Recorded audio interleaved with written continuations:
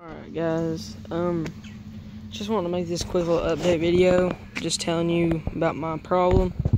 Um, me and Cameron are hopefully going to go to my mama's this weekend and go ride, but my GoPro, I had to send it back because stupid thing. It won't shut on, or it won't turn on. I tried to update it because I had like the Wi-Fi thing, the little update, and it said that it um, would update. So I tried it. It was updating. Wi-Fi lost connection, and um, I tried to take the battery out because it was just sitting there, and it wouldn't cut back on. So I had to send that back. Said it'll take about two weeks. And hopefully, in four more days, we're gonna go riding. So I won't be able to record that.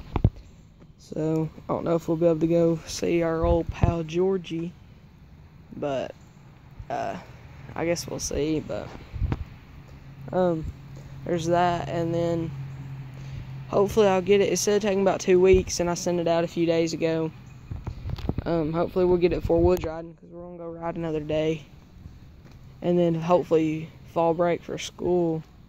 Me and Cameron go back to Mama's, and we'll be able to ride in the field because the other field is uh, finished being hayed. So we can go over there and I'll record that. But yeah, um, I guess I'll see you guys later. And also want to talk about if you all watch Ronnie Mac, I just want I'm gonna just do some funny videos like that.